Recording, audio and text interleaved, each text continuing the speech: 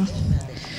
Y, Otwieram posiedzenie Komisji Spraw Społecznych i Porządku Publicznego. Witam serdecznie przybyłych y, radnych oraz gości w osobach y, pan burmistrz Jakub Wróblewski, Tomasz Szołtek, Magda Wyrobek i Radosław Kiciński. Witam serdecznie Państwa.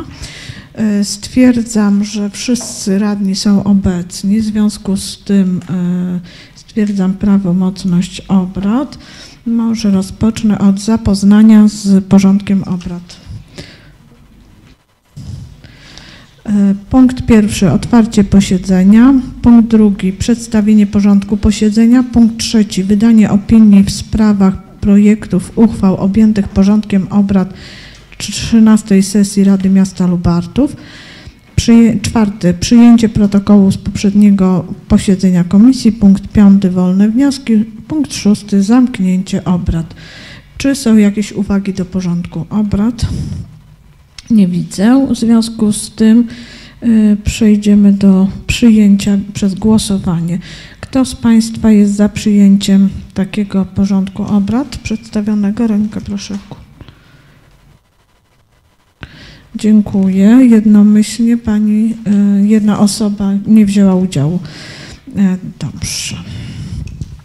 Przechodzimy w takim razie do y, punktu trzeciego.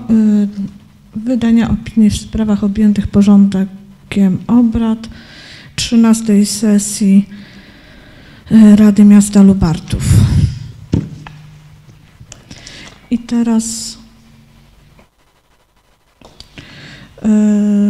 mam pytanie takie, ponieważ y, mamy tutaj takie trzy punkty, które dotyczą wyrażenia zgody na zawarcie y, umowy dzierżawnej. Czy moglibyśmy te trzy punkty wspólnie omówić? Tak, oczywiście. To bardzo proszę o wprowadzenie. E, Pani Przewodnicząca, Szanowni Państwo e, radni. E, Na pewno łączy te e, trzy punkty to, że wszystkie dotyczą e, umów dzierżawy, a dokładnie przypadku, e, kiedy e, po umowie zawartej na okres do trzech lat e, strony zawierają kolejną umowę, dzierżawy wymagana jest zgoda organu stanowiącego, w tym wypadku Rady Gminy, Rady Miasta. Pierwsza, pierwsza uchwała dotyczy wyrażenia zgody na ponowne zawarcie umowy dzierżawy części działki gruntu położonej przy ulicy Mucharskiego. E, Jest to działka wykorzystywana, e, właściwie ta część działki jest wykorzystywana jako dojazd e, do domku jednorodzinnego. To jest około 56 metrów kwadratowych. Czynsz do tej pory był regulowany na bieżąco. Dzierżawca także ponosił koszty związane z podatkiem od nieruchomości. Czynsz wynosił 98 zł e, rocznie. To by było w tej sprawie e, tyle. Od razu, od razu omawiać kolejne uchwały, tak? Mhm.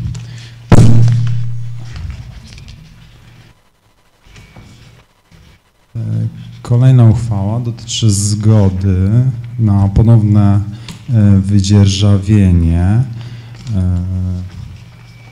nieruchomości stanowiących własność gminy miasta Lubartów. Mm, A dokładnie chodzi o e, 8 lokalizacji, na których jest ustawionych e, oś, e, 10 pojemników na odzież używaną. E, Jest to e, dzierżawa na rzecz spółki Red Bull e, Recycling. Do chwili obecnej e, spółka ponosiła koszty dzierżawy w kwocie 15 zł brutto za jeden kontener. E, W tym momencie jesteśmy już po wstępnych rozmowach. Udało się nam e, wynegocjować e, kwotę dzierżawy 30 zł netto za jeden kontener, czyli ponad dwa razy więcej. Spółka, spółka wywiązuje się z, obowiązków wynikających z umowy jak do tej pory. Trzecia, trzecia uchwała dotyczy, dotyczy ponownego wydzierżawienia e, nieruchomości e, w Nowodworze, która kiedyś stanowiło e, wysypisko śmieci. E, Są to nieruchomości o powierzchni ponad 4 hektarów, dzierżawione przez Związek Komunalny Gmin Ziemi Lubartowskiej. Wykorzystywane są one do tak naprawdę e, na potrzeby rekultywacji tego składowiska. Stąd też e, czynsz e, dzierżawy jest bardzo niski, wynosi rocznie 250 zł, około 250 zł. Nadal, nadal związek planuje prowadzić rekultywację w tym miejscu, więc zasadnym jest zawarcie kolejnej umowy na okres do 3 lat. Dziękuję bardzo. Dziękuję bardzo. Otwieram dyskusję. Czy ktoś chciałby zabrać głos? Proszę. Dziękuję bardzo. E, Panie naczelniku, e, jedno pytanie. Samo e, tak stricte organizacyjne, co do merytoryki nie mam tutaj żadnych zastrzeżeń, natomiast nie wiem, czy Pan zwrócił uwagę, albo osoba, która rozpisywała ten porządek e, obrad e, z 13 sesji, e, jeśli chodzi o ten punkt czwarty i podpunkty A, B, C, one są jednakowo brzmiące. Natomiast no, my jako radni nie wiemy, do której uchwały tak naprawdę punkt A należy, punkt B należy i punkt C należy. Dobrze by było jakby w, w porządku obrad umieszczać, być może, ja przy, dodam taką formę, może ona się przyjmie lub po jakiejś innej formie, albo na przykład do punktu pierwszego, który jest tak samo brzmiący jak punkt B i C, e, wpisywać na przykład numery działek, wtedy wiemy, do którego punktu jest który. Mm, Przyznam, że, że ten temat był poruszany już na poprzednich komisjach w środę, y, więc y, dokładnie tak jak pan radny proponuje, ustaliliśmy, że następnym razem będziemy wpisywać po prostu numery y, działek. Dziękuję bardzo. Czy ktoś jeszcze chciałby zabrać głos? Nie widzę. W takim razie e, jeszcze właśnie zapytam, czy mamy e, głosować każdą oddzielnie? Rozumiem tutaj, prawda? Dobrze. W takim razie przystępujemy do głosowania. E, Kto z Państwa radnych jest za pozytywną opinię w sprawie wyrażenia zgody na zawarcie kolejnej umowy dzierżawy z dotychczasowym dzierżawcą, której przedmiotem jest nieruchomość na czas oznaczony do lat trzech. No i właśnie tutaj mam ten kłopot. tak się właśnie zastanawiałam właśnie, czy mamy tutaj wymieniać ulicę.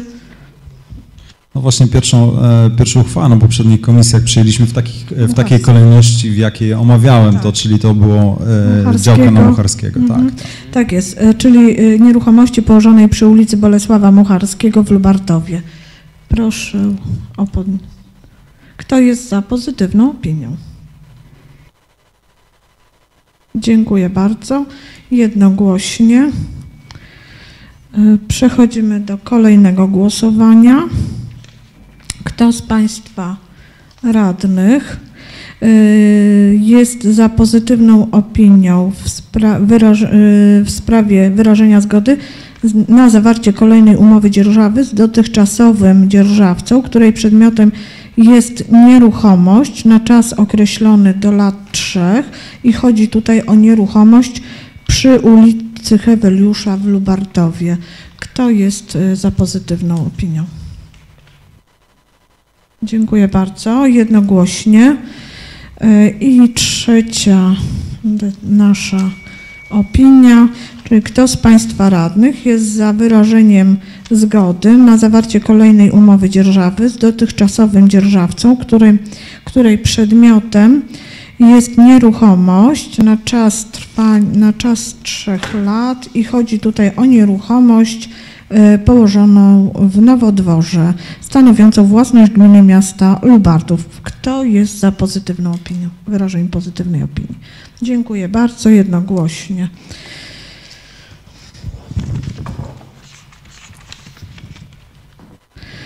Przechodzimy do wydania opinii kolejnej, a mianowicie zmieniające um, uchwałę w sprawie regulaminu określającego wysokość oraz warunki przyznawania dodatków motywacyjnego, funkcyjnego za warunki pracy, sposób obliczania wynagrodzenia mm, za godziny ponadwymiarowe i godziny doraźnych zastępstw oraz wysokość funduszu nagród dla nauczycieli zatwierdzonych w przedszkolach i szkołach prowadzonych przez miasto Lubartów.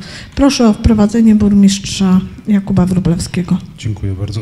Proszę Państwa, 13 czerwca tego roku ustawodawca dokonał zmiany ustawy Karta Nauczyciela, na mocy której przyznał e, nauczycielom, którzy sprawują funkcję wychowawcy klasy, dodatek motywacyjny, dodatek funkcyjny, przepraszam bardzo, z tego tytułu w minimalnej wysokości 300 e, złotych. Następnie zreflektował się, że nie objął ten dodatek nauczycieli zajmujących się e, oddziałem przedszkolnym i w, w rozporządzeniu ministra edukacji narodowej, e, e, które zostało ogłoszone z 14 sierpnia 2019 roku, rozszerzył możliwość, czy w zasadzie obowiązek wypłacania tego dodatku, nie określając jednak jego wysokości. Już tutaj mowa o nauczycielu opiekującego się oddziałem przedszkolnym. Wobec powyższego istnieje konieczność dokonania zmiany w naszym regulaminie, które reguluje e, te kwestie. E, zaproponowaliśmy związkom zawodowym, bo spotykaliśmy się w sprawie ze związkami zawodowymi, żeby mm, e, określić ten dodatek dla nauczycieli, wychowawców w kwocie 300 zł, to jest minimalna kwota, która wynika z, z tej ustawy, o której wspomniałem. Natomiast, żeby wysokość tego dodatku funkcyjnego dla nauczycieli opiekujących się oddziałem przedszkolnym pozostała w dotychczasowej wysokości, to jest wysokości 5% e, e, wynagrodzenia zasadniczego nauczyciela w stopniu zawodowym dyplomowanym, który wynosi 190 zł 85 groszy aktualnie po ostatnich podwyżkach. E, zdecydowaliśmy się na to, ponieważ e, jakby ciężko jest, ponieważ jednym oddziałem przedszkolnym opiekuje się zazwyczaj więcej niż jeden nauczyciel, zazwyczaj jest to dwóch nauczycieli. Wynika to po prostu z siatki godzin, które e, obowiązuje w przedszkolu. Na tą pierwszą propozycję, te 300 zł, związki zawodowe wyraziły zgodę.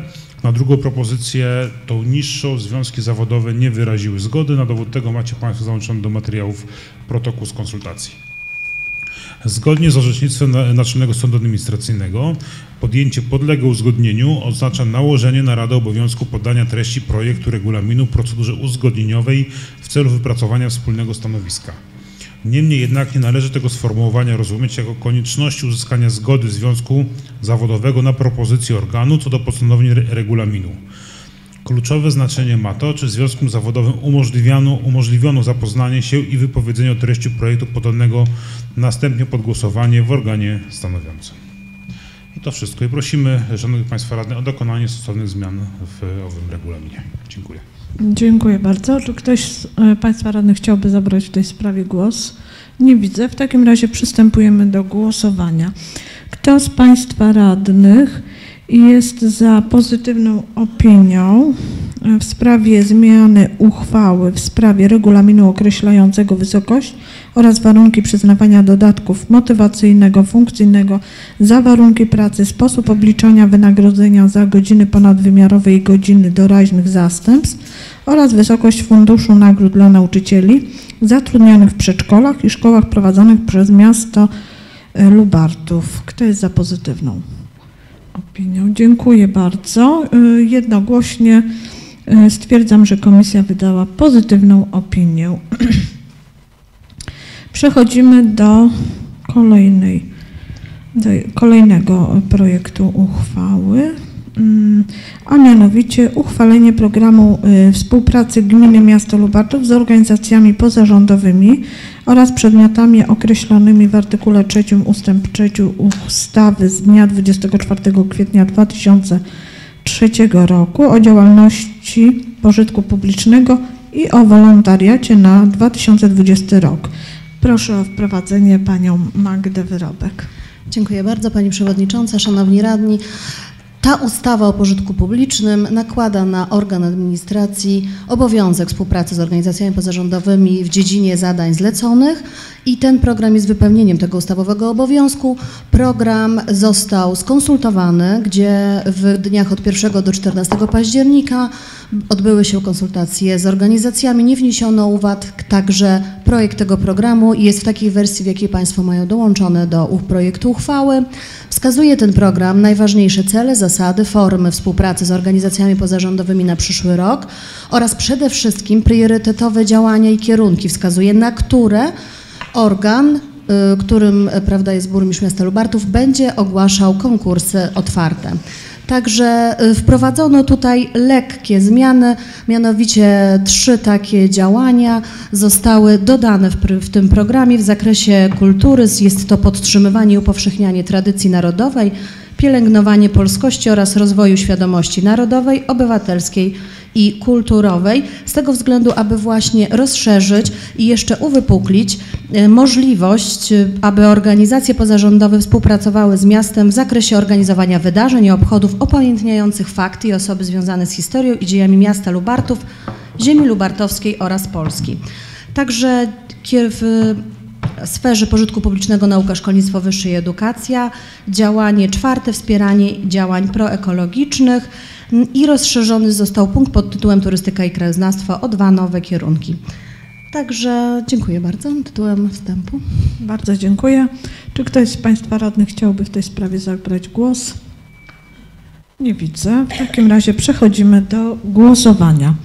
Kto z Państwa radnych jest za pozytywną opinią w sprawie uchwalenia programu współpracy Gminy Miasto Lubartów z organizacjami pozarządowymi oraz podmiotami określonymi w artykule 3 ustęp 3 ustawy z dnia 24 kwietnia 2003 roku o działalności e, pożytku publicznego i o wolontariacie na rok 2020. Kto jest za pozytywną opinią? Dziękuję bardzo. Stwierdzam, że komisja jednogłośnie e, wydała opinię pozytywną w wyżej wymienionej sprawie. Dziękuję. Dalej e, przechodzimy do kolejnego, czyli przystąpienie do Stowarzyszenia Lubelska Regionalna Organizacja Turystyczna. E, Proszę o wprowadzenie również panią Magdę Wyrobek. Dziękuję bardzo. Proszę Państwa, Lubelska Organiza- Regionalna Organizacja Turystyczna jest organizacją, która jest powołana w celu promocji oferty turystycznej i kulturalnej województwa lubelskiego. W związku z tym, iż w niedługim czasie będziemy mieli uruchomiony nasz lokalny punkt informacji turystycznej, celowe i zasadne jest, aby włączyć się w taką regionalną organizację, aby lepiej promować nasze walory, tutaj jakie mamy na naszym terenie i w okolicy i aby w kooperacji z szerszym e, podmiotem móc się promować również tutaj, ale i na arenie krajowej, jak i międzynarodowej. A ta organizacja przede wszystkim e, uczestniczy w wielu wydarzeniach turystycznych i promocyjnych. Także e, jakie będą korzyści, które płyną ze współpracy z tą organizacją? Przede wszystkim nawiązanie tej współpracy z podmiotami zainteresowanymi rozwojem turystyki w województwie. Nie tylko sektor żo- pozarządowy, ale również sektor publiczny i przede wszystkim sektor prywatny. Możliwość korzystania z marki Elrod, ta marka jest już znana, rozpoznawalna, więc używanie jej też, też sprzyja promocji turystyki naszego miasta. Ponadto jest to korzyść w postaci udziału w targach, wystawach i innych imprezach, które są organizowane i współorganizowane przez Elrod i w których on uczestniczy, wtedy też promując y, nasze miasto. Y, Poza tym y, uczestnictwo daje nam możliwość w udziale w tworzeniu strategii rozwoju turystyki województwa lubelskiego. Jest to bezpłatna promocja w serwisach internetowych Elrotu i z tymi, z których on współpracuje. Y, Jak również te takie namacalne rzeczy, jak wydawnictwa i materiały promocyjne. My jesteśmy w ich, oni częściowo też do tego punktu informacyjnego, będąc, jeżeli będziemy prawda, w tej organizacji, też otrzymamy materiały. Y, Oczywiście uczestnictwo w organizowanych szkoleniach i konferencjach i dostęp do informacji dotyczących pozyskiwania funduszy na działania w zakresie turystyki. Także dziękuję bardzo. Dziękuję. Otwieram dyskusję. Pozwolę sobie e, najpierw sama zadać pytanie.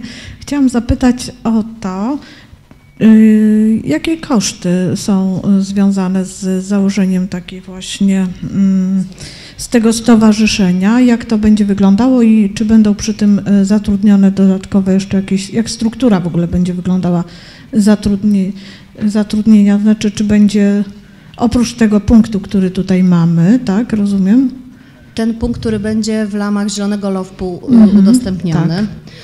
Y, to tam odnośnie specyfikacji, specyfiki, ile kto będzie zatrudniony, to nie odpowiem Pani. Natomiast jeżeli chodzi o uczestnictwo, bo nie mam takiej wiedzy, natomiast jeżeli chodzi o uczestnictwo w tym y, stowarzyszeniu, to bycie członkiem, ro, y, opłata roczna zryczałtowana wynosi 5 tysięcy. dla miast powyżej 20 tysięcy mieszkańców, bo to są takie przedziały. Jednorazowa roczna opłata. tak. I, I więcej jeszcze Nie jakieś opłaty, czy jakieś Nie. koszty utrzymania Nie. tutaj jest Nie, nie, no nie. Dziękuję. To jest zryczałtowane. Dziękuję. Rozumiem, czyli... Y... Tak, proszę, pani radna Kozak.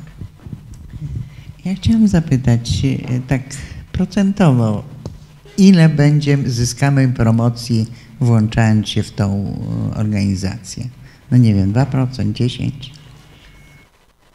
No, na to pytanie to jest dość trudno odpowiedzieć, bo w zależności o jakiej promocji mówimy i do czego ją porównamy. Natomiast ta organizacja bardzo prężnie działa na przede wszystkim arenie turystycznej i promocyjnej w Polsce na wielu targach i automatycznie, jeżeli ona ma swoje stoiska, tam wtedy też widać nas. Sami nie jesteśmy s- w siebie tak wypromować, jak we współpracy ze specjalistyczną i wyspecjalizowaną organizacją, którą właśnie Lerot jest.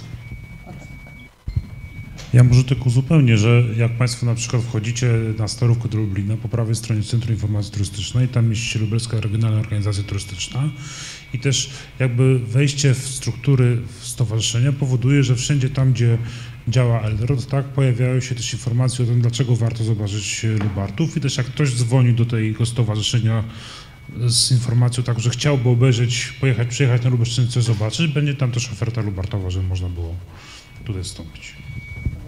Dziękuję bardzo. Proszę, radny Czupacki. Czyli rozumiem, e, Pani Magdo, że tak naprawdę inwestujemy w reklamę naszego miasta, naszego regionu, tak aby coraz więcej osób e, zainteresowało się naszym miastem i chciało przyjechać do naszego miasta. Czy w tym kierunku idziemy, prawda? W tym kierunku to po pierwsze, a po drugie, my również, nasz, nasz punkt informacji będzie atrakcyjnym miejscem, a nie jednokrotnie mamy sygnały, że przyjeżdżają turyści, nie ma punktu, nie ma miejsca, gdzie można uzyskać mapy, przewodniki, nie tylko samego Lubartowa, ale również okolicy województwa. I to nam to daje, bo sami nie wyprodukujemy tego wszystkiego i nie udostępnimy, a w kooperacji mamy to już udostępnione i będzie to przekazane. Czyli w momencie założenia tego stowarzyszenia będziemy mogli zadzwonić do stowarzyszenia? Tak. Przystąpienie. Ale wtedy będziemy mogli zadzwonić, jeżeli przyjmijmy, zarekomenduje nasze, nasze miasto gdzieś e, poza granicami naszego województwa jeżeli delegacja będzie chciała się udać e, do Lubartowa, będzie mogła się sko- skontaktować e, i wtedy ktoś z miasta zatrudniony, przepraszam, za- ze stowarzyszenia zatrudniony w tej organizacji będzie mógł oprowadzić i opowiedzieć o mieście i najbliższych atrakcjach turystycznych w naszym regionie? to przede wszystkim, jeżeli ktoś zadzwoni do Elrotu, Elrot poda namiary i przekaże kontakty i nas uprzedzi e, i przede wszystkim tutaj przekaże informację taką i da namiary, że tutaj jest punkt, że tutaj mamy muzeum, że tutaj mamy przewodnika i jak najbardziej, że tam jest możliwość oprowadzenia. Dziękuję bardzo. Ja przepraszam, ja tylko wyjaśnię, tu nie chodzi o żadne delegacje, które będą przyjeżdżać, tylko normalne wycieczki seniorów, różnych osób, grup pielgrzymkowych, które chciałyby przyjechać i będą, będziemy w sieci informacji takiej turystycznej. Dziękuję bardzo. Czy jeszcze ktoś chciałby zabrać głos?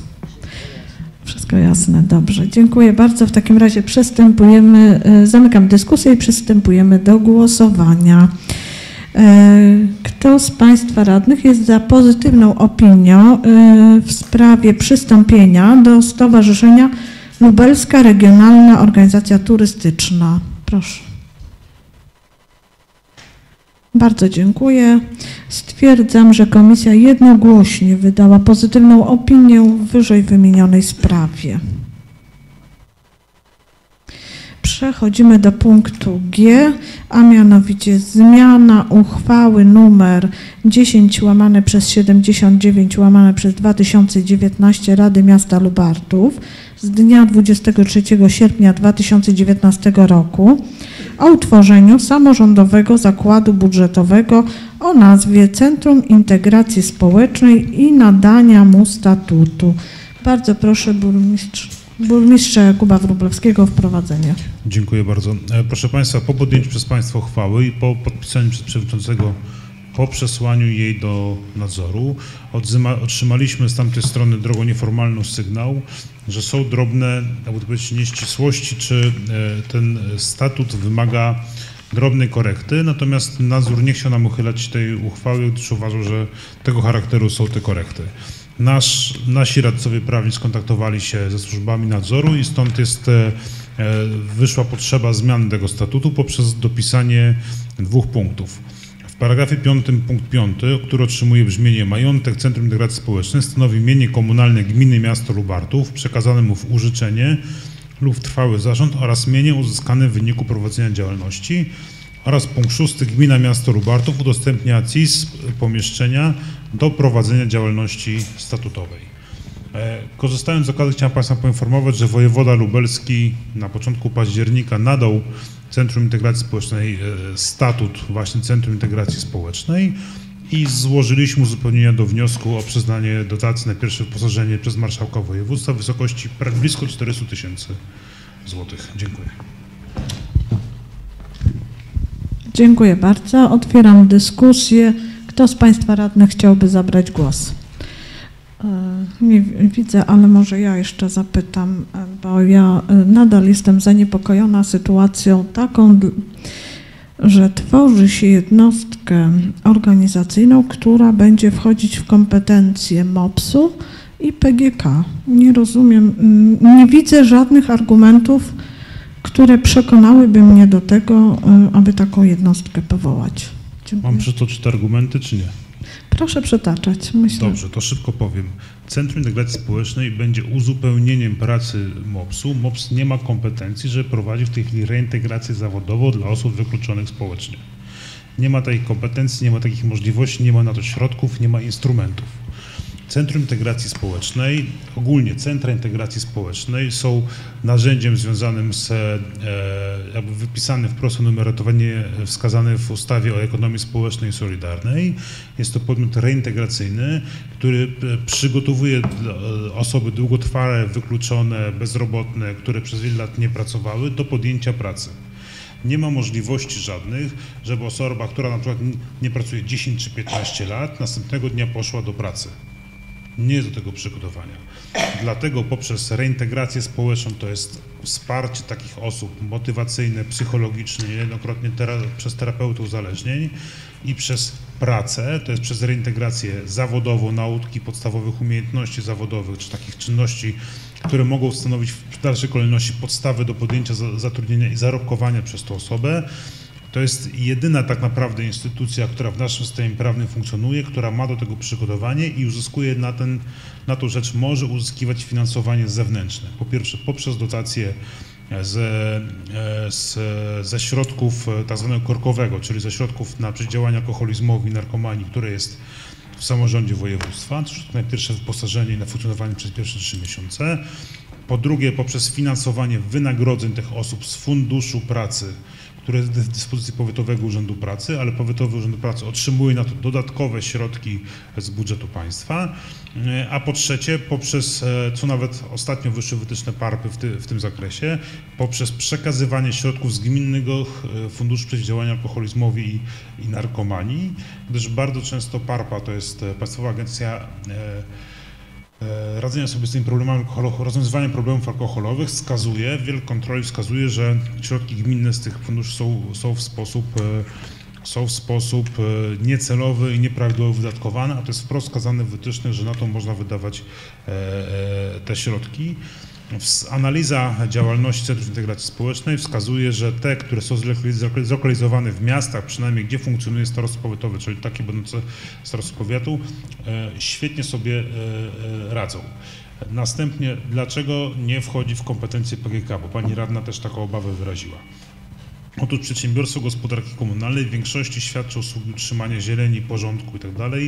na rzecz miasta Lubartów, czyli my bezpośrednio z budżetu płacimy za tego typu usługi. Przedsiębiorstwo gospodarki komunalnej, e, to od strony ekonomicznej teraz mówię, przedsiębiorstwo gospodarki komunalnej ma trudności ze znalezieniem pracowników do prac prostych. Po prostu nie ma osób chętnych, które podjęłyby się zamiatania i sprzątania, a jeżeli chcą, to chcą dużo wysokie wynagrodzenie. E, Od przyszłego roku, jak Państwo wiecie, najniższe wynagrodzenie będzie wynosiło 2600 zł plus stażowe. tak? E, Co powoduje, że obawiamy się, że raptownie nam wzrosną wydatki na utrzymanie czystości porządku mieście zwi- związane właśnie z wynagrodzeniami tych osób. Też częścią składową tej usługi w przeważającej większości są wydatki na wynagrodzenia, na wynagrodzenia osób, które zamiatają. Gdy popatrzymy na koszty zamiatania miasta, no to mamy koszty wynagrodzenia tych osób, zakup miotły, zakup sprzętu ochronnego, no i wywozu tych nieczystości, które e, zbiorą. Więc jakby przeważającą częścią jest koszt wynagrodzenia tych osób. Jeżeli mielibyśmy, nawet przy niższej wydajności tych osób będących w CIS-ie, wynagrodzenia tych osób z głowy, bo to byłoby finansowane z Funduszu Pracy, równocześnie moglibyśmy, e, moglibyśmy pomóc tym osobom w tym, żeby wstawały rano, e, zajęły się swoje życie, poczuły się trochę odpowiedzialne. Proszę się nie śmiać. E, nie burmistrz. Nie, nie, nie burmistrz, ale są na to e, metody. Tak jak na uczniów nie ma metody też, żeby wstawać na czyli nie chodzi rano ich nie budzi, ale no, przychodzą w jakiś sposób do szkoły na określoną godzinę. Studenci również. E, e, I z drugiej strony jest szansa. Chcemy, żeby w pierwszej kolejności kierowane do Centrum Integracji Społecznej były osoby długotrwale bezrobotne, które mieszkają w naszych zasobach socjalnych i komunalnych i nie regulują należności czynszowych. A na, a na 200 mieszkań, lokali mieszkalnych, które mamy, 120 posiada w tym na koniec września zaległości czynszowe wobec nas, regulują, to chcemy dać takim osobom szansę wyjścia z tej sytuacji i też zaproponować im udział w takim projekcie i równocześnie umożliwić im spłatę tych należności czynszowych wobec nas, dlatego żeby nie zostały te osoby eksmitowane e, w gorsze miejsca niż się e, e, znajdują. Więc równocześnie uprawdopodobnia nam to szansa, że te osoby będą te zaległości wobec miasta regulowały, a przypomnę, że na połowę tego roku, na koniec czerwca one wynosiły 686 tysięcy złotych, więc jest, jest to niebagatelna kwota. Choć w części te pieniądze odzyskali, nie chcę mówić w jakiej, spowodowałoby to, to, że na przykład mielibyśmy pieniądze na bieżące remonty tych lokali komunalnych, socjalnych, które posiadamy. Również w zakresie czynności Centrum Integracji Społecznej przewidzieliśmy, że te bieżące remonty czynności będą wykonywali ci pracownicy Centrum Integracji Społecznej, więc niejako będą też remontowali dla siebie czy swoje własne e, mieszkania. Dziękuję. Dziękuję bardzo. Y, Jednak, y, to znaczy tak, y, ja mam naprawdę dużo wątpliwości. Dlaczego CIS ma y, pomóc y, w tym, skoro. Mogę mieć wątpliwości, mogę? No, dziękuję, bo tak. Chodzi o to, że na przykład y, tutaj pan burmistrz mi powiedział, że CIS będzie pomagał w płaceniu im pensji, tak? CIS nie, będzie wypłacał im wynagrodzenie. Właśnie, tak będzie zwane, im płacił wy, wynagrodzenie. A co przeszkadza w tym, żeby na przykład, ale dalej to wynagrodzenie będzie z Funduszu Pracy. Ich wynagrodzenie będzie pochodziło z Funduszu Pracy. Proszę mnie wyprowadzić z błędu. Yy, czyli Urząd yy, Pracy, tak? Urząd Pracy, z Funduszu Pracy, Urzędu Pracy. Fundusz Powiatowy Tak, Urząd Pracy jest tak, dysponentem oni Funduszu mają- Pracy w powiecie. Tak. Jak to się ma do tej pensji minimalnej? To jest inna ustawa, to jest ustawa o zatrudnieniu socjalnym. To, to nie jest pensja w sensie wynagrodzenia, Mhm. tak? Wynagrodzenie mówimy potocznie, ale ustawa o zatrudnieniu e, socjalnym przewiduje, że jest to wypłata, to, jest, to wydatek aktywizujący obok zasiłku dla bezrobotnych, zamiast zasiłku dla bezrobotnych. To jest dla osób, które już nie posiadają zasiłku dla bezrobotnych. Te osoby tak bardzo teoretycznie i prawnie nie pracują, tylko uczestniczą w procesie reintegracji zawodowej, czyli nabywają umiejętności zawodowe, czy podnoszą swoje kwalifikacje zawodowe. Tak jak nie można się teoretycznie nauczyć jeździć na łyżwach, tylko trzeba na tych łyżwach trochę pojeździć, podobnie i pracy też się nie da nauczyć teoretycznie pewnych czynności, tylko trzeba to przećwiczyć, sprawdzić, nauczyć się obsługi traktora, traktorem się jeździ, Ja się strzyże i tak dalej.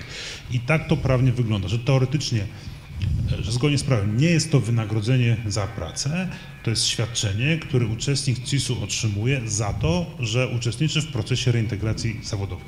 A proszę mi jeszcze wy- wyjaśnić, y, y, Urząd Pracy może y, zlecać prace interwencyjne, prawda?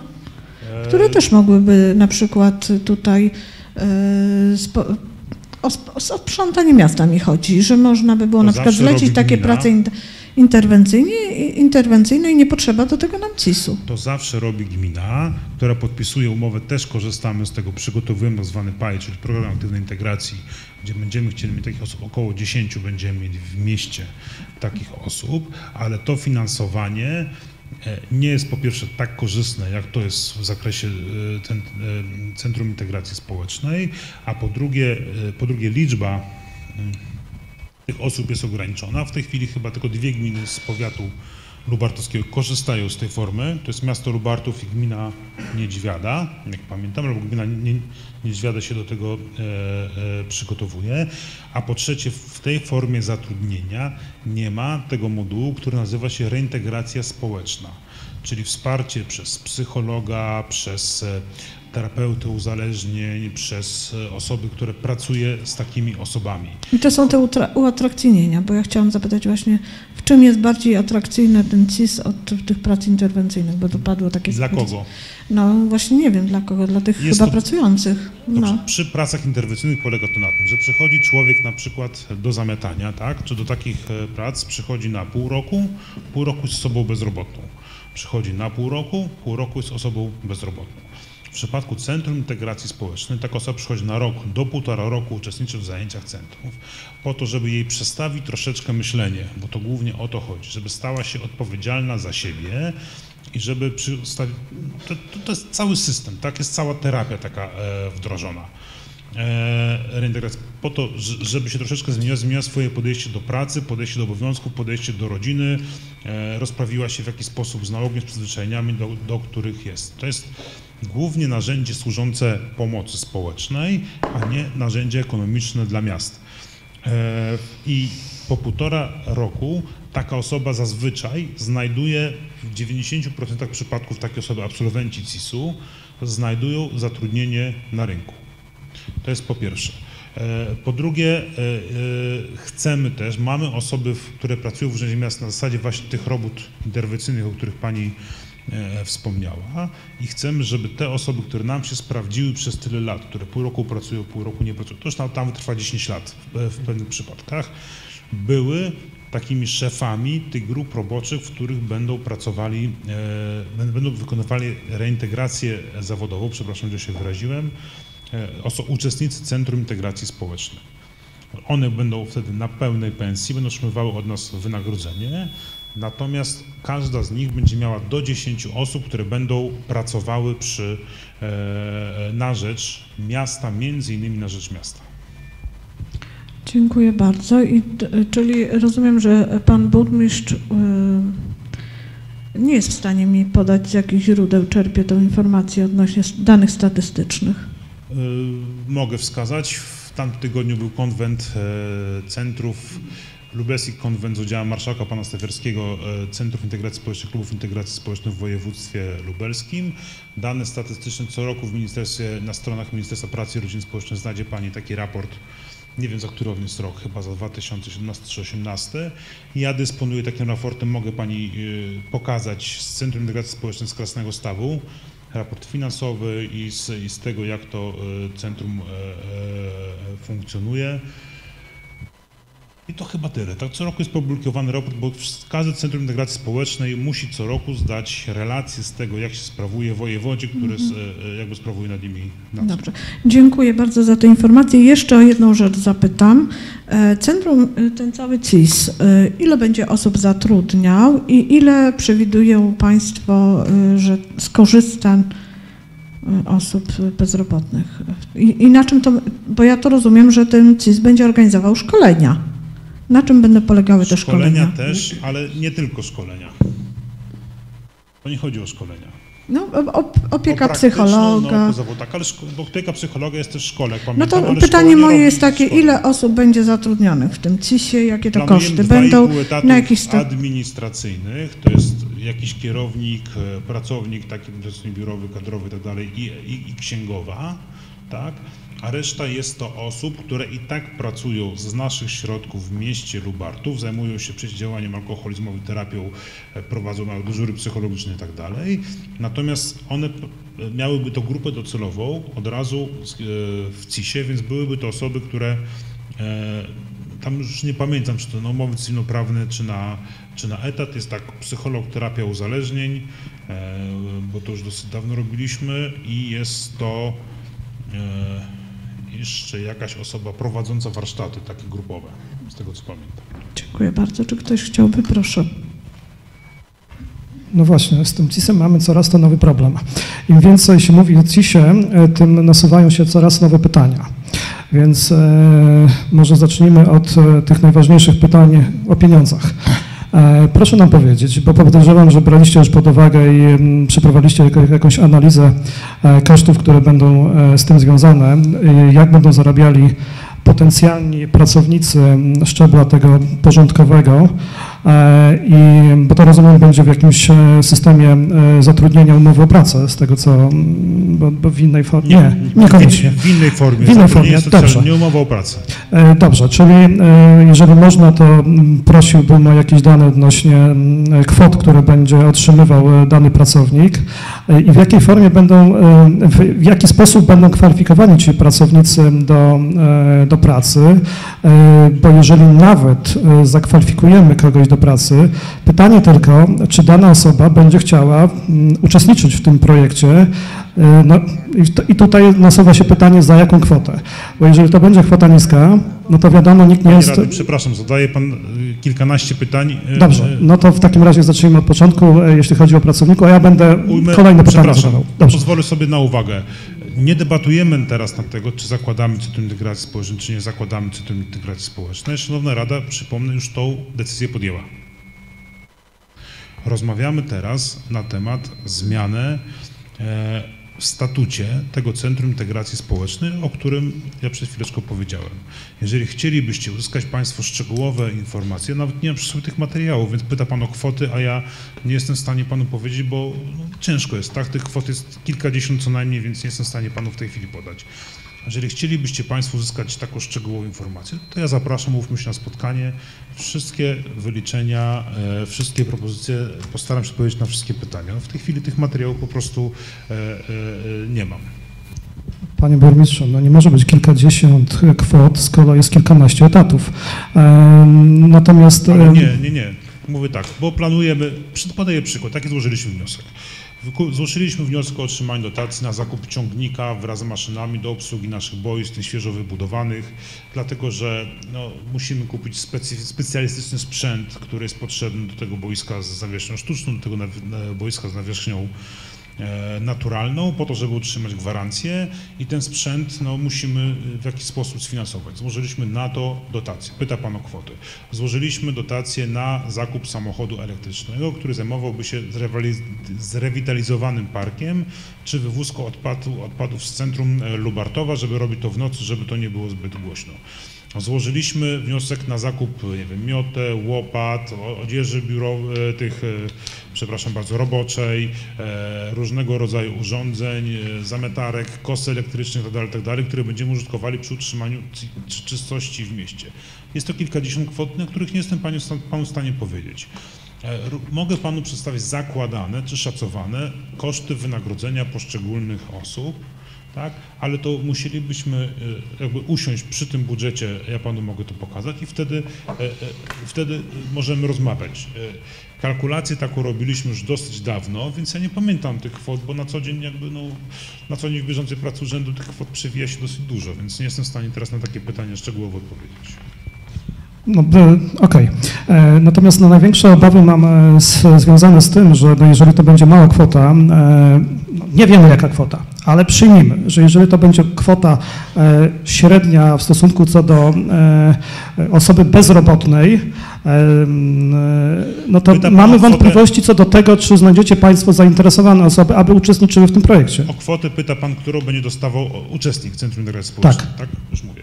Więc jest to kwota, która wynik, wynika z pewnych algorytmów, które są przekazywane przez ministra. Ale to nie chodzi o to, to pamiętam, że jest to kwota dla osoby, która nie pracuje, nie pobiera zasiłku dla bezrobotnych, bo są też e, takie osoby. E, To, to nie jest e, inaczej, to nie jest kwestia wynagrodzenia dla tej osoby.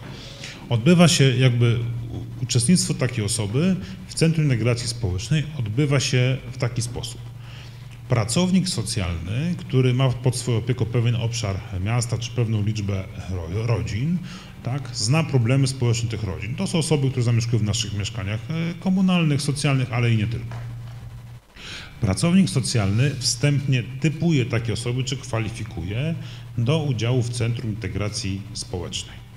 Pracownik socjalny, znaczy kierownik, e, przepraszam bardzo, e, Miejskiego Ośrodka Pomocy Społecznej w porozumieniu z pracownikiem socjalnym podpisuje z, takim, z taką osobą kontrakt socjalny. Polega on na tym, że proszę pana, otrzymuje pan przez tyle lat otrzymuje pan zasiłki stałe, zasiłki czasowe, do, e, które są finansowane w 100% z naszego budżetu, pamiętajmy o tym. E, otrzymuje pan od nas wsparcie różnego rodzaju. My chcemy panu pomóc i proponujemy panu uczestnictwo w centrum. Jeżeli pan się nie zgodzi, za uczestnictwo w centrum będzie pan dostał wynagrodzenie. E, Ten, e, przepraszam, to wynagrodzenie e, socjalne. Tak, jeżeli pan się nie zgodzi, będziemy, nie będziemy panu wypłacali zasiłków, jeżeli pan czegoś nie będzie robił ze sobą, zasiłków poza, to ja o to poprosiłem, chociaż jest też taka prawna możliwość, poza e, e, fundowaniem posiłków dla dzieci, które od nas otrzymują. Dlatego tak musimy zrobić. Już mówię, dl- dlaczego to jest efektywne? Bardzo często te osoby na początku są oporne. Tu ma Pan rację. Racjonalnie rzecz podchodząc, to lepiej iść na czarno, tak, zarobić jakieś pieniądze, niż iść do Centrum Integracji Społecznej. Ale pamiętajmy o tym, że pracuje, jeżeli ktoś pracuje na czarno i w ten sposób zarabia, działa też na naszą, jako osób, niekorzyść, bo pobiera świadczenia mu nienależne, które my płacimy z naszych podatków bezpośrednio, bo nie jest to, że 20% ze środków budżetu gminy, 80% środków e, budżetu państwa, tylko 100% z budżetu gminy te dwa zasiłki są finansowane. To jest e, jakby pierwsze wzmocnienie. Drugie, taka osoba jest na miejscu przez 6 do 8 godzin w, w tygodniu motywowana, codziennie odbywają się spotkania do pracy. Jest pod opieką psychologów, jest pod opieką różny, e, specjalistów, którzy są w różny sposób zatrudniani po to, żeby rozwiązać jej problem, ale też problem rodziny. Pamiętajmy o tym, że ile byśmy zasiłków nie wypłacili, nikomu nie pomożemy wyjść ze sfery wykluczenia e, e, społecznego i, i wykluczenia w ogóle. Dopiero praca, przyzwyczajenie do pracy powoduje, że jakby cały system wokół tej osoby i jej system wartości zbudowany wokół tej osoby się zmienia. Zaczyna się inaczej myśleć, inaczej spędza czas, inne się wzorce przekazuje w rodzinie swoim dzieciom, bo w tej chwili w Lubartowie mamy już do czynienia z tak zwanym dziedziczeniem uzależnienia od pomocy społecznej. Przychodzą do mnie osoby, które ubiegają się o mieszkanie socjalne czy mieszkanie komunalne z pretensją, przecież ich mamusia do- dostała lokal socjalny, to jej też się należy. Traktują to jako normę, że taki lokal się dostaje.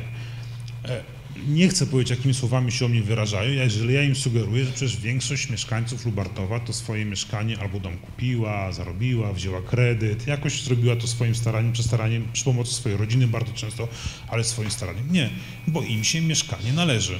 Im się pomoc należy, im się wszystko należy. Pytanie to jest do nas, czy to jest pomoc społeczna, bo tym się różni pomoc społeczna od opieki społecznej, że pomoc zgodnie z definicją i zgodnie ze wszelkimi prawidłami pomaga osobie wyjść ze sfery z problemów, w których taka osoba się znalazła, a opieka społeczna się opiekuje po prostu taką osobą, stara się, żeby nie stała się, się im krzywda. To jest kwestia jakby przestawienia pewnych torów. Czy nam zależy na tym? Bo jeżeli, panie radny, popatrzmy tak. E, Jeżeli będziemy ludziom dawali pieniądze za to, że nie pracują, tak, za nic, a nie będziemy, a będziemy im kazać płacić podatki, różne rzeczy za to, że pracują, to czemu się dziwimy, że im się nie chce pracować? No racjonalne jest to, że po prostu dlaczego mam, mam pracować, jak wszystko dostaję? A wtedy rośnie rzesza osób, które nie pracują i ci, którzy pracują, których jest coraz mniej, muszą płacić, muszą płacić coraz więcej na tych, co nie pracują. Tak? No proste.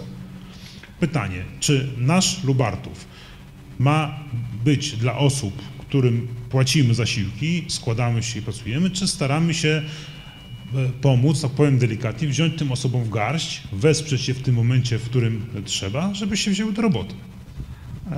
Żeby nie było tak poważnie, e, od razu przypomniałem się karierę nikodematyzmu, że trzeba dać ludziom wędkę, żeby sobie złapali rytm, ale na to, na, w, tej, w tej formie to, to odebrałem. E, Natomiast e, sama intencja jest dobra, natomiast pytanie tylko, czy ma Pan wiedzę na ten temat, czy w momencie, jeżeli taka osoba jest zatrudniona w tym Centrum Integracji Społecznej, przyjmijmy, że rok czasu, nie otrzymuje tego zasiłku, bo nie jest uprawniona, czy po roku Nie, jak jest uczestnikiem, otrzymuje. Otrzymuje. E, Dobrze, ale czy na przykład po roku czasu e, ona może, czy po półtora roku pracy może się starać e, w, w Urzędzie Pracy o zasiłek dla- dla bezrobotnego? Tego nie jestem w stanie powiedzieć Pan do końca. Prawdopodobnie tak, bo jest to forma zatrudnienia, ale chodzi o co innego. Chodzi o dokonanie zmiany w psychice tej osoby. Tak? Jesteśmy na Komisji do Spraw Społecznych, mogę powiedzieć. Na dokonanie, bo na to też trzeba czasu. Na wszystko trzeba proces. Tak w szkole uczymy dzieci pewnych rzeczy i nie zrobimy tak, że przychodzi dziecko do szkoły, następnego dnia umie czytać, pisać i rachować, tylko jest to pewien proces od elementarnych pewnych czynności po, po jakąś taką e, naukę. Również tutaj, wobec osób, dlatego jest te półtora roku, żeby taką osobę i zmienić jej przyzwyczajenia i jej takie codzienne naleciałości, które powodują, że ona, no jak możemy sobie to, to sobie pogadamy, tak, że ona nie pracuje. Proszę sobie wyobrazić taką sytuację. Podam przykład, mogę? W nieodległym mieście Łukowie kilka naprawdę lat temu, nie wiem, 10, 8, kilka lat temu prowadziłem takie szkolenie zakładania spółdzielni socjalnych.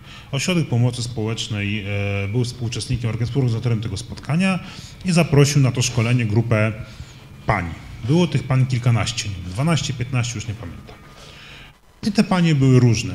Jedna na przykład była na tym szkoleniu, bo po maturze zaszła w ciążę, jedno dziecko wyszła za mąż, urodziła drugie dziecko, potem wychowywała te dzieci i 10 lat nie pracowała, więc praktycznie bez zawodu e, e, szuka wyjścia e, z sytuacji. Druga pani pracowała, ale też to były głównie przerwy z, z, z urodzeniem dzieci. Jedno, drugie, trzecie. Dzie- Dziecko to zapamiętałem, kilkanaście lat była bezrobotna, pracowała wcześniej, a potem mąż sobie znalazł nowszy model, że tak powiem, e, pani ją zostawił, no i ona została e, sama bezradna z, z dziećmi i co z tym robić. No ale podczas e, tego szkolenia, ono trwało tydzień, trzeciego dnia zorientowałem się, że jedna z pań zamiast na godzinę dziewiątą, bo się zaczynało szkolenie o godzinie dziewiątej, przyjeżdża mi na godzinę 9.40. Zawsze jest 9.40. Z racji tego, że były takie możliwości, pytam wprost pani, przepraszam, wie pani, no, e, chcecie pani założyć spółdzielnię socjalną, chcecie rozpocząć działalność gospodarczą, pracować, te wiadomości mogą być ważne akurat, które pani opuści, może przesuniemy szkolenie, tak, żeby zaczynało się o 10. To nie jest problem, możemy to zrobić. Na co pani mówi, nie, nie, nie, nie, nie ma problemu o 9, bo ja potem o 15 muszę odebrać dzieci, więc dobrze, żeby tam e, skończył wcześniej. Mówię, a to może pani powie, dlaczego pani tak e, przychodzi później, tak? Mówię, pan, jak to panu powiedzieć, od 10 lat ogląda mi jeden serial, po prostu muszę go obejrzeć i dopiero, i dopiero przyjadę. Dziwimy się, ale to tak jest. Naprawdę, to tak jest. Jak spojrzycie Państwo na budynki socjalne gdziekolwiek w Polsce, wiecie po czym je poznać? Trzy cechy, czy takie osoby. Anteny satelitarne, bo jako trzeba spędzać czas. Palenie papierosów w domu i mocna kawa. Trzy rzeczy nieodłączne budynkom socjalnym, tam gdzie ludzie nie pracują i przebywają w domu. Te przyzwyczajenia naprawdę trzeba zmienić, a tego nie zrobimy w 5 minut, po to te półtora roku. I nie traktujmy tego Centrum Integracji Społecznej jako szalonego w- wynalazku finansowego na zaspokojenie nam tanich usług, tylko traktujmy to Centrum Integracji Społecznej jako instrument, który mamy, żebyśmy płacili mniej zasiłków w perspektywie jakiegoś czasu.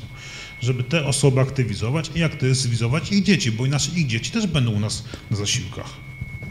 A równocześnie możemy my bo są dwa modele, jak jeszcze mogę, Pani Przewodnicząca, tak? Dwa modele są funkcjonowania CIS-u. Pierwszy model mówi o tym, że wykorzystujemy ten potencjał tych osób, który jest, ten zasób tych osób e, wykluczonych w Centrum Integracji Społecznej do zaspokajania potrzeb naszych jako samorządu, do realizacji naszych zadań.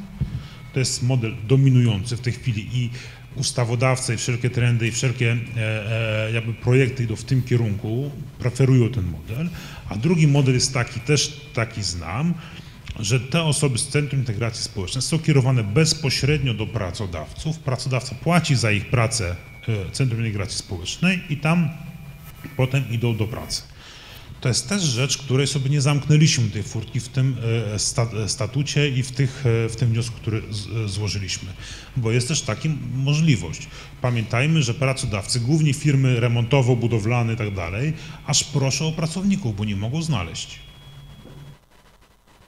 To przede wszystkim traktujmy to jako szansę dla tych osób wykluczonych, a nie jako instrument, który będzie działał. I chętnie pokażę kwoty, które zaplanowaliśmy, rzeczy, które chcemy kupić i tak dalej, bo to nie jest tajne, tak? Możemy o tym rozmawiać. Myślę, że będziemy ogłaszali wspólnie, rozmawiali o tym, kto ma być kierownikiem, bo będziemy ogłaszali konkurs na stanowisko kierownika, na osoby, które to pociągnie, bo to nie jest łatwa praca, bo to trzeba mieć różnorakie doświadczenie. Różnorakie y, doświadczenie, ale y, to jest nasza rozmowa. Dobrze, dziękuję bardzo. W takim razie liczymy na to, że we wtorek na sesji pan burmistrz będzie w stanie nam Mówmy się w ten przedstawić sposób. Będę takie miał przy sobie ten wniosek, pokażę Państwu, informacje. dobrze? Dobrze, y, bo jednak y, dużo wątpliwości jest, czy faktycznie ta instytucja pomoże takim osobom, bo po 12, jeżeli my mówimy o tym, że takie osoby 10-15 lat nie pracują, to ich się nie zmieni w ciągu jednego roku czy półtorej. Na pewno y, jakaś idea jest y, szczytna. W, e, w Polsce istnieje kilkadziesiąt czy kilkaset takich instytucji jak Centrum No, Integracji próbowałam Społecznej. znaleźć. W województwie lubelskim mogę Panią bardzo małe. skontaktować. E, Caritas w Siedlcach prowadzi w Białej Podlaskiej. Można pojechać. E, W, w Krasnym Stawie prowadzi miasto e, Krasny Staw. Gmina, e, miasto i gmina Krasny Staw. W Mienianach pod Hrubieszowem prowadzi stowarzyszenie. To stowarzyszenie, to ten CIS gotował obiady dla jednej szkoły. W tej chwili obsługuje już 7 gmin. Wszędzie są polikwidowane stołówki, bo jest taniej, jest lepiej i wszyscy się zdają na ten Centrum Integracji Społecznej. Tam byłem ostatnio. Gdzie jeszcze w województwie lubelskim? W Lublinie działa Centrum Integracji Społecznej. Tutaj e, z tyłu krakowskiego e, przedmieścia prowadzi bar i tego typu. Będziemy mieli czas jeszcze się zastanawiać do wtorku, do sesji. E, Czy jeszcze ktoś? Proszę.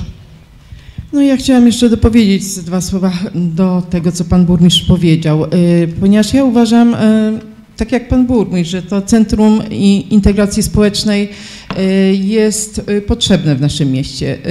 Często rozmawiam z osobami, które korzystają z pomocy społecznej. I mm, też rozmawiam z nimi na temat pracy. Są to osoby młode. Bardzo dużo osób młodych korzysta z pomocy społecznej u nas, właśnie w naszym mieście. I mm, rozmawiając właśnie z nimi, to mówią, że nie ma pracy, nie mają gdzie pójść do tej pracy.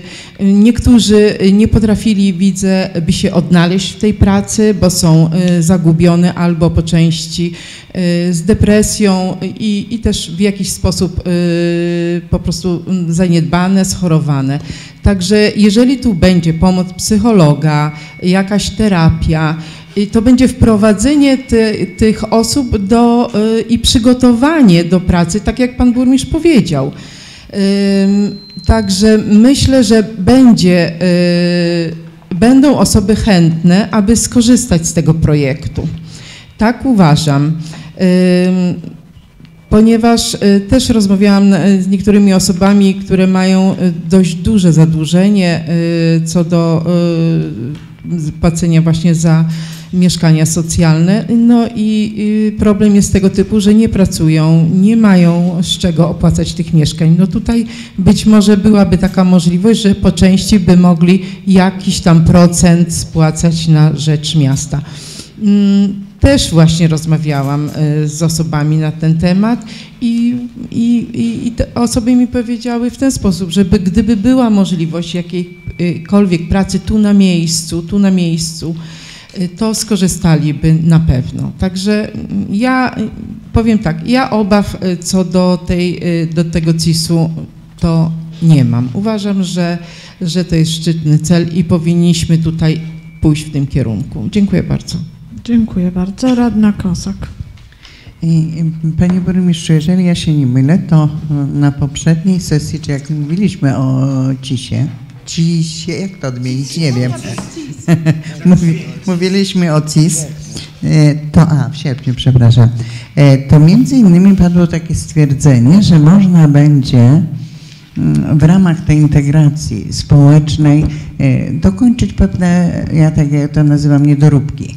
załóżmy gdzieś tam nie jest ułożony chodnik. I tu konkretnie mam przy ulicy Lubelskiej naprzeciwko Brico i Kauflandu.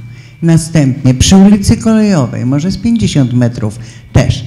To poza tym też utkwiła mi taka rzecz e, w pamięci, że zostały jakieś tam jeszcze mm, prawda, materiały, tak, gdzie tutaj można by było wykorzystać. To jest jedna rzecz.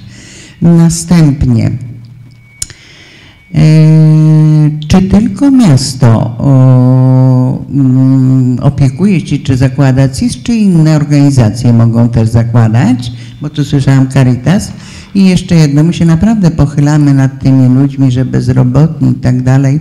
Opowiadała dzisiaj, mm, opowiadał pracownik, gdzie oni doskonale wiedzą paragrafy ustawy i skąd pieniądze brać. Wyszedł człowiek ze szpitala, zamawia gaz i chce, żeby miał od razu, od zaraz. Jego nie obchodzi, że kierowca jest w trasie, że nie może wrócić. Nie. Jemu się należy, taka jest ustawa. Tu po prostu rzucać wszystko i jechać do niego. Dziękuję. Dziękuję bardzo. Czy jeszcze ktoś chciałby zabrać głos? Mam odpowiedzieć, czy nie? A proszę, przepraszam bardzo. Dziękuję. Więc wszystkim tak, e, to jest tak z rozbiórki kostki, tej, którą wymieniamy przy ścieżkach rowerowych, wymieniamy na wierzchni, zostało nam trochę tej kostki. Staramy się ją wykorzystać, bo bardzo duża jej część jest, nadaje się do użytku, część jest, część jest gorsza. Natomiast to jest tak, jeżeli, e, e, e, no między innymi część kostki pójdzie do szkoły podstawowej numer 3, bo tam trzeba poprawić pewne rzeczy, ale jest wiele rzeczy w mieście, wynikających z realizacji państwa wniosków, są to duże lub mniejsze rzeczy, bądź na przykład z Komisji do Spraw Petycji Skarb Wniosków, które wpływają jak ułożenie tego chodnika, to Państwo chyba głosowali za tutaj e, na osiedlu Kopernika, za szkołą numer 4, tak, przejście od ulicy Weteranów, czy pamiętam, do ulicy Kosmonautów, e, czy, czy jakieś tam utwardzenia. I teraz tak, jeżeli my mielibyśmy to robić jako miasto Lubartów, musimy mieć kim tak to robić, więc najłatwiej byłoby ogłosić przetarg, proszę układać z powierzonego materiału co nie jest najtańszym rozwiązaniem dla nas. Oczywiście rynkowe, tak, osiągniemy cenę rynkową, ale przy wykonywaniu takich prostych czynności, jak układanie kostki, których da się nauczyć w dwa tygodnie kogokolwiek, możemy ją zrobić własnym sumptem, posiadając sprzęt, a zakup tego sprzętu zaplanowaliśmy, y, ubiegając się o dotację, która jest w 100% byłby ten sprzęt y, finansowany ze środków zewnętrznych. Tutaj to potwierdzam. Gdzie będzie układana ta kostka i co będzie robione, to już decyzja zależy między innymi od państwa radnych, a nie od innych. Natomiast e, jeżeli chodzi o współpracę z gminami, mamy sygnał z gmin okolicznych, że okoliczne gminy chętnie by korzystały z usług Centrów Integracji Społecznej poprzez kierowanie do, do nich, do tego centrum swoich osób i pokrywania kosztów, pełnych kosztów uczestnictwa tych osób w Centrum Integracji Społecznej. Znaczy pokrywanie między innymi proporcjonalnie do liczby uczestników kosztów funkcjonowania naszego centrum. To po pierwsze. E, e, i, I mamy też taką opinię od pani starosty, która też e, wyraziła, mogę tę opinię przedstawić, która też starostwo wyraziła taką opinię, że widzi taką możliwość czy potrzebę współpracy też z innymi gminami powiatu w tym zakresie. I druga rzecz, kto może założyć Centrum Integracji Społecznej? Mogą założyć tylko dwa podmioty. Organizacja pozarządowa, to jest stowarzyszenie lub fundacja, e, lub jednostka samorządu e, terytorialnego. Z tym, że rozmawiałem z, jedno, z, z, z, mm, z organizacjami pozarządowymi działającymi na terenie miasta, takimi, które są w stanie to udźwignąć i one oczekują, że za pośrednictwem CIS pokryją swoje własne koszty związane na przykład z, z wynajmem pomieszczeń, z jakimiś takimi sprawami i tak dalej, więc e, e, no, doszedłem do wniosku, że jakby, no, dlaczego mielibyśmy jeszcze komuś płacić za to, że e, za, za, za coś, co możemy zrobić e, sami. Tylko tyle. Dobrze, Dziękuję. dziękuję bardzo. E, Czy jeszcze ktoś? W takim razie zamykam dyskusję i przechodzimy do głosowania. Kto z Państwa radnych jest za pozytywną opinią w sprawie zmiany uchwały nr 10 łamane przez 79 2019 Rady Miasta Lubartów z dnia 23 sierpnia 2019 roku o utworzeniu samorządowego zakładu budżetowego o nazwie Centrum Integracji Społecznej i nadania mu statutu. Kto jest za pozytywną opinią? O, Dziękuję. Kto się, y, kto jest przeciw? Kto się wstrzymał?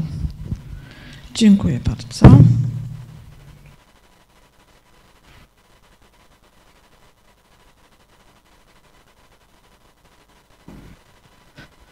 Przechodzimy do. y, Stwierdzam, że komisja wydała 3-1. Tak. 3-1. Ja tak właśnie wiem. 3-1.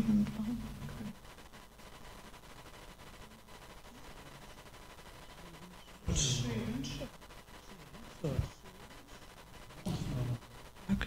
Czyli, mhm. czyli komisja, stwierdzam, że komisja wydała pozytywną opinię. E, Przechodzimy do punktu następnego. Rozpatrzenie skargi na działanie burmistrza miasta Lubartów. Proszę takim razie. E, Proszę Państwa, e, e, 6 września wpłynęła e, do wojewody e, lubelskiego, e, tak, 6 września wojewody Lu- lubelskiego skarga na działalność burmistrza, która przez wojewodę, została, przez wojewodę lubelskiego została przesłana do Urzędu Miasta Lubartów 18 września. E, Skarga dotyczyła e, tego, że burmistrz w niewłaściwy sposób wykonuje e, swoje obowiązki, swoje obowiązki. W szczególności, do, znaczy generalnie dotyczyła sprawa przyznania lokalu mieszkalnego osobie, mieszkania socjalnego osobie skarżącej. E, e, 17 października odbyło się posiedzenie Komisji Skarg, Wniosków i Petycji. Komisja zapoznała się z przedstawionymi dokumentami, wysłuchała pani skarżącej, wysłuchała też osób poważonych przez pana burmistrza do tego, żeby e, e, e, reprezentować ten organ w tym postępowaniu i uznała, tak jak państwo e, e, macie w uzasadnieniu i w projekcie uchwały, że skarga jest e, e, bezzasadna. E, e, Jest e, pani przewodnicząca komisji, jest też członkiem komisji, to jest do spraw tak, wniosków i petycji. Myślę, że bardziej przybliży sposób jakby rozumowania. Pan Todor chyba też, jak pamiętam, ale macie państwo wszystko zapisane w uzasadnieniu. Dziękuję. Dziękuję bardzo. To może ja w takim razie się odniosę do tej sytuacji. Chyba pani Renata była też na tej komisji. No tak. No, tak. Tak. E, To może zechce zabrać głos. wy- Yy, No, my uznaliśmy na komisji, że yy, skarga na działanie burmistrza była bezzasadna. Yy, Powodów było kilka. Pani, która złożyła skargę, mm, w moim subiektywnym odczuciu była bardzo roszczeniowa. Yy, Nie zgadzały się tam fakty. Twierdziła, że yy, od 14 lat czeka na mieszkanie, że 14 lat temu złożyła papiery. W dokumentach Urzędu Miejskiego funkcjonuje jako osoba oczekująca dwa- 2016. Yy, tak. Mm, No, usprawiedliwia się, że jest chora, że nie może podjąć pracy. Nie złożyła wszystkich dokumentów, nie ma grupy. Praktycznie rzecz biorąc, y, opiera się na tym, co było wtedy, kiedy pierwszy raz składała papiery.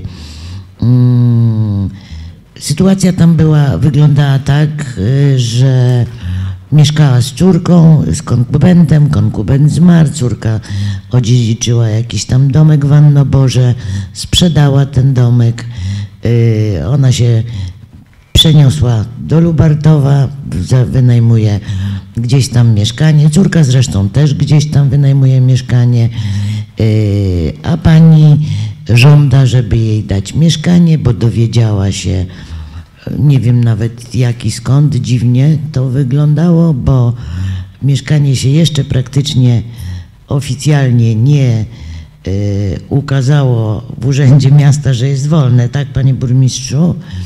Y, bo to było mieszkanie, y, Pegiek chyba jeszcze nie zdał, czy tam Po na to... prostu ja może wytłumaczę, Tak. tak? E, Któregoś tam, e, z tego co pamiętam, któregoś tam sierpnia zmarła jedyna lokatorka takiego małego mieszkania.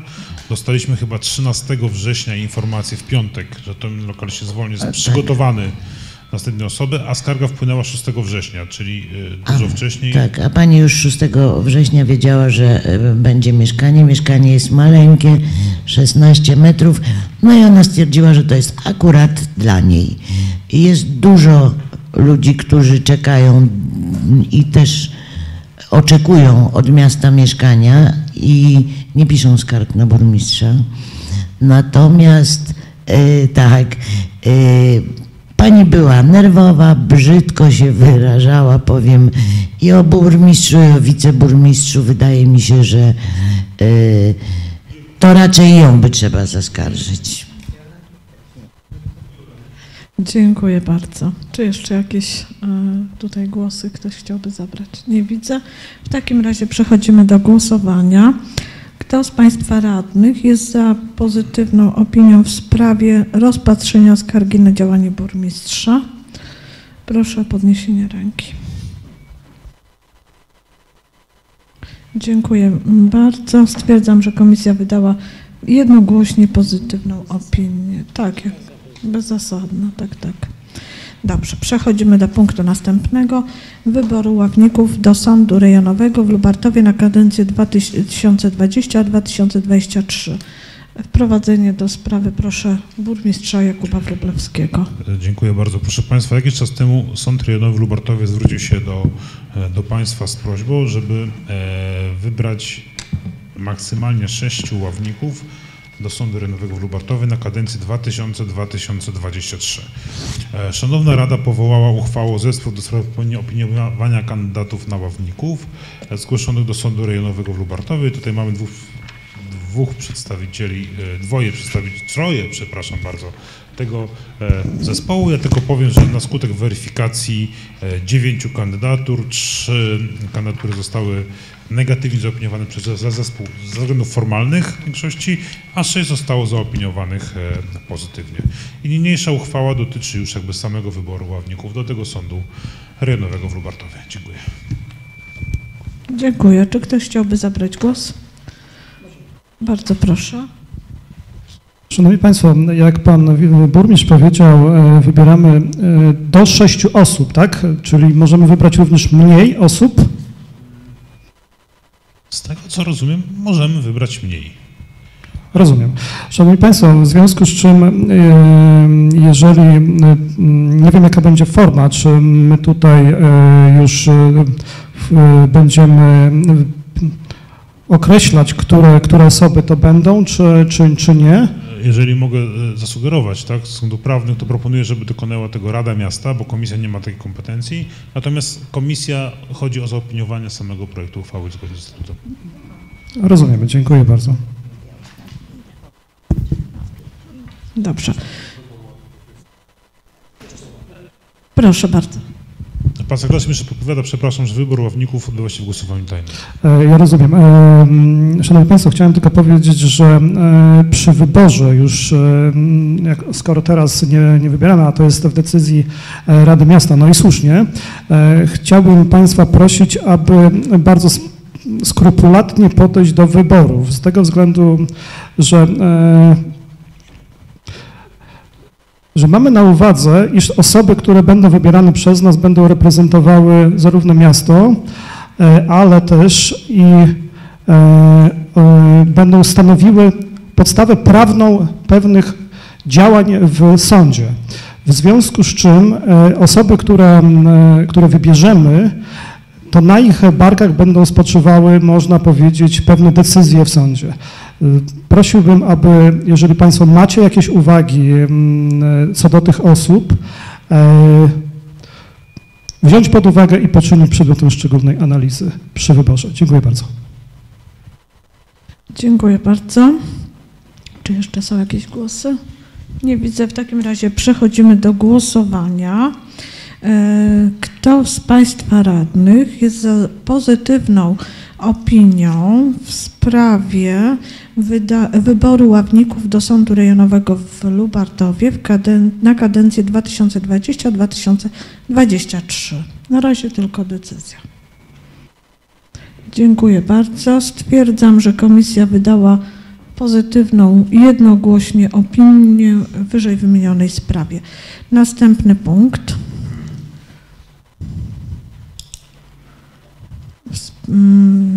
Odwołanie dodatkowego przedstawiciela Rady Miasta Lubartowa z, ze zgromadze, w Zgromadzeniu Związku Komunalnego Gmin Ziemi Lubartowskiej. I teraz tutaj mamy dwa e, takie punkty, bo rozumiem, że to chodzi o dwie osoby i ja proponuję, żeby to e, połączyć. Proszę. Tak. E, proszę o wprowadzenie pana burmistrza. E, Proszę Państwa, do Urzędu Miasta wpłynęło pismo od grupy czterech radnych podpisanych pod tym wnioskiem z, e, z, z załączonymi dla Państwa projektami uchwał. Chodzi o odwołanie dwóch z trzech przedstawicieli e, miasta w, e, w Związku Zgromadzeniu Związku Komunalnego w Gminie Ziemi Lubartowskiej i o wybór na ich miejsce innych e, osób. Tak dodatkowo jeszcze wspomnę, że otrzymaliśmy pismo od komisarza e, wyborczego, iż pan e, Wojciech Osiecki złożył do nas pismo o, o, z informacją, że rezygnuje z mandatu e, radnego i komisarz wydał postanowienie o wydał postanowienie o jakby wygaszeniu tego mandatu z dniem 11 października, o ile pamiętam, ale jeszcze nie wiem, czy to orzeczenie jest prawomocne, tak? Czy to jeszcze nie, jeszcze, nie, jeszcze pan Wojciech Osiecki może się od tego e, odwołać. Jednym, jeżeli mogę powiedzieć, jedną z radnych podpisanych, no to jest osoba publiczna, więc mogę powiedzieć, jest pan Robert Błaszczak. Jeżeli chciałby więcej uzasadnić, to, e, to oczywiście jako inicjator no, w stanie pewnie to zrobić lepiej ode mnie. Dziękuję. To znaczy, pan już wiele powiedział, panie burmistrzu. Ja chciałbym powiedzieć, że mm, na sesji 26 września Rada Miasta głosami większości postanowiła, y, mm, że miasto y, wróci do Związku Gmin Komunalnych Gmin Ziemi Lubartowskiej. Dotychczasowi przedstawiciele w osobach mm, radnego Tomasiaka i Osieckiego reprezentują odmienne stanowisko w tej kwestii, co wielokrotnie wyrażają, wyra- y, wyrażali w wystąpieniach oficjalnych, w mediach też publicznych. No i dlatego uważamy, że ze względu na zachowanie tych osób powinniśmy zmienić osoby reprezentujące Lubartów w Związku Gmin. Dziękuję. Dziękuję bardzo. Czy jeszcze ktoś? Nie widzę, że. Mm, Przechodzimy w takim razie do głosowania i będziemy głosowali na każdą oddzielnie. W związku z tym, y, kto z Państwa radnych jest za pozytywną opinią w sprawie odwołania dodatkowego przedstawiciela Rady Miasta Lubartów w Zgromadzeniu Związku Komunalnego Gmin Ziemi Lubartowskiej, inicjatywa ustawodawcza grupy radnych i tutaj y, chodzi o, o radnego Tomasiaka, y, tak. Brzmiące tak. Y, Tylko jest y, jedna dotyczy radnego y, Jacka Tomasiaka, dru- druga dotyczy radnego Osieckiego Wojciecha. Czyli głosujemy jakby rozdzielnie. No to rozdzielnie, no to bardzo proszę. W sprawie odwołania Jacka Tomasiaka, proszę, kto? Dziękuję bardzo. Tak. Stwierdzam, że komisja wydała pozytywną opinię jednogłośnie. No i teraz y, w sprawie y, odwołania mm, Wojciecha Osieckiego jako przedstawiciela Rady Miasta. Dziękuję. Też stwierdzam, że komisja wydała pozytywną opinię jednogłośnie w wyżej wymienionej sprawie. Przechodzimy do punktu następnego, czyli wyznaczenie dodatkowych przedstawicieli Rady Miasta Lubartów w Zgromadzeniu Związku Komunalnych Gmin Ziemi Lubartowskiej. Y, To chyba, to już właśnie, To jest, bardzo proszę proszę. Państwa, konsekwencja tej uchwały. Rada Miasta może posiadać czterech przedstawicieli, jeden z urzędu Pan Burmistrz, trzech wybieranych przez Radę Miasta. Jeżeli Państwo zdecydujecie Radę Miasta o odwołaniu dwóch, byłoby dobrze i zasadne, żeby powołać na ich miejsce inne osoby. Dziękuję. Dziękuję bardzo. E, Czyli tutaj głosujemy też, tak? Dobrze. E, W takim razie, kto z Państwa radnych jest za wydaniem pozytywnej opinii w sprawie wyznaczenia dodatkowych przedstawicieli Rady Miasta Lubartów w Zgromadzeniu Związków Komunalnego Gmin Ziemi Lubartowskiej? E, Proszę o podniesienie ręki. Dziękuję bardzo. Stwierdzam, że komisja wydała pozytywną opinię na wyżej wymienionej sprawie. E, Zamykam punkt czwarty, y, trzeci, przepraszam. Tak. I przechodzimy do punktu czwartego, czyli przyjęcie protokołu z poprzednich posiedzeń komisji. Takich protokołów mamy cztery i może tutaj Państwo mieli y, wyłożone. Z, tak, przeczytali, zapoznali się nasi przyna... Dobrze, bardzo się cieszę. W takim razie przechodzimy do zatwierdzenia. E, Kto z Państwa radnych jest za zatwierdzeniem protokołu numer 7 z 2019 roku z posiedzenia Komisji Spraw Społecznych i Porządku Publicznego w dniu 26 czerwca 2019 roku? Dziękuję. Protokół został przyjęty jednogłośnie. Kto z Państwa radnych jest za przyjęciem protokołu 8 z 2019 roku e, ze wspólnego posiedzenia e, Komisji Rady Miasta Lubartów w dniu 12 lipca 2019 roku? Dziękuję bardzo. Protokół przyjęty jednogłośnie. Kto z Państwa radnych jest za przyjęciem protokołu numer 9 z 2000, łamany przez 2019 ze wspólnego posiedzenia Komisji Rady Miasta Lubartów w dniu 23 sierpnia 2019 ro- roku? Dziękuję bardzo. Protokół przyjęty jednogłośnie. I mm, kto z Państwa radnych jest za przyjęciem protokołu nr 10 z 2019 roku ze wspólnego posiedzenia Komisji Rady Miasta Lubartów w dniu 26 września 2019 roku? Dziękuję bardzo. Protokół przyjęty jednogłośnie. Zamykam punkt czwarty. Przechodzimy do punktu piątego. Wolne wnioski. Czy ktoś z Państwa radnych ma? Pan burmistrz. Bardzo proszę, pan burmistrz e, Wróblewski. Szanowni Państwo, przepraszam, taka mi nasza refleksja, że potrzebujemy rozmowy o tym Centrum Integracji Społecznej.